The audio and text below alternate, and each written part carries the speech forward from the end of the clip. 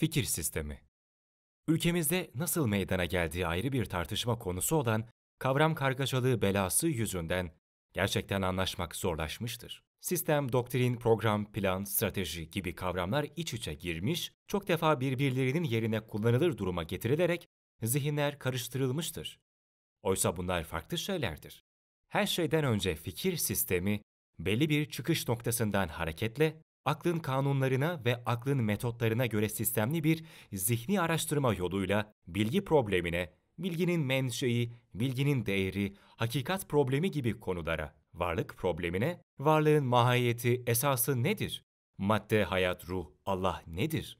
Varlık tek midir, çok mudur? Zaman, mekan ne demektir gibi sorulara, fiil problemine, hürriyet, kader, determinizm, irade ve sorumluluk gibi konularda kendi arasında tutarlı bir genel bakış ve yorum getirmeyi ifade eder. Felsefe, sırayla bilgi teorisi, varlık teorisi, fiil teorisi adını verdikleri konularda kendi içinde tutarlı bir yorumlama biçimidir. Peygamberler bu konularda vahyin rehberliğindeki bir akılla, filozoflarsa kendi kendini kurtarmayı iddia eden bir trajik akılla çözüm ve yorum getirmeye çalışmışlardır. Peygamberler ve veliler akıl ve düşünmeyi değerli buldukları halde yukarıda saydığımız konularda bu kabiliyetimizin insanları tatmine ve huzura kavuşturacak bir güçte olmadıklarını belirtiyorlar. Filozofların bütün felsefe tarihinin incelenmesinden de görüleceği üzere birbirleriyle boğuşup durduklarını, akıl ve aklı yıkarak bugüne geldiklerini insanlara iman ve huzur yerine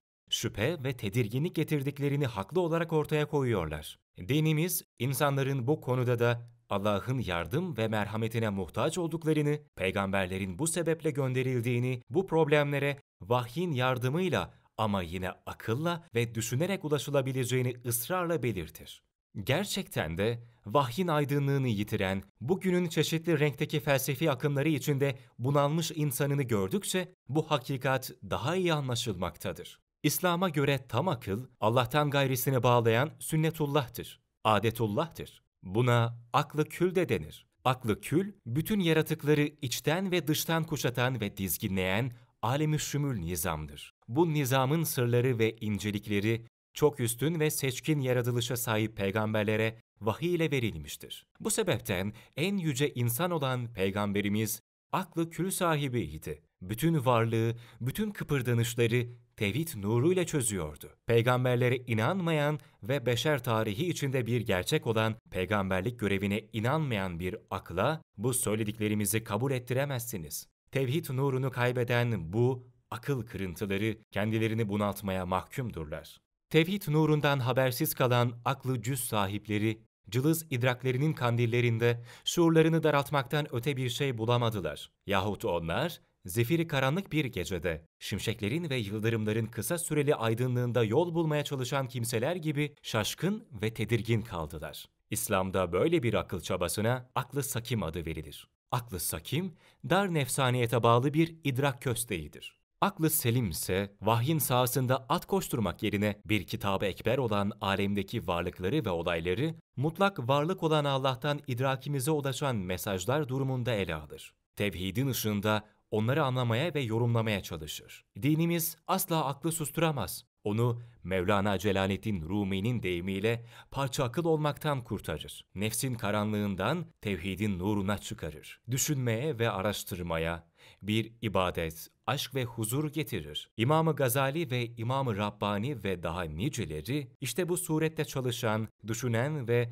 dünyanın hayranlığını toplayan velilerimiz ve mütefekkirlerimizdir. Türk İslam ülkücüsünün fikir sistemi, Allah ve Resulünün çizgisinde yürüyen aklı selim sahibi bir yüce veliler ve mütefekkirler kafilesince yoğrulmuştur. Kara ve kızıl renkli filozoflar, ister materyalist, ister idealist, ister spiritüalist olmak iddiasını taşısınlar. Batılı insana ve onların yolunda gidenlere bir şey veremediler. Istıraplarına çare bulamadılar. Bugün ya kopkoyu bir materyalizmin, ya tedirgin edici bir şüpheciliğin girdabında boğulan yahut bir felsefesizlik felsefesine sığınarak intihar etme korkusuyla var olmaktan öte bir saadete yol bulamayan ve tam bir felsefe sefaletine yuvarlanan kara ve kızıl dünyadan ve onların filozoflarından bizlere bir hayır gelmeyecektir. Fikir sistemi etrafında şimdilik bu kadar duralım. Doktrin, program, plan ve strateji kavramları ise fikir sisteminin ışığında içinde bulunduğumuz zamana, mekana ve şartlara göre giderek detaya inen sosyal, kültürel, ekonomik ve politik hedefler, çalışma şekilleri ve uygulama metotlarını ifade eder. Sistem çok uzun sürelidir. Hatta esasda hiç değişmez. Fakat doktrin daha esnek, programsa çok dinamiktir. Planlarsa her an değişebilir. Strateji ise şartlara göre bunlar arasında birlik, bütünlük ve uyumu sağlamayı ve kurabilmeye esas alan prensipler manzumesidir.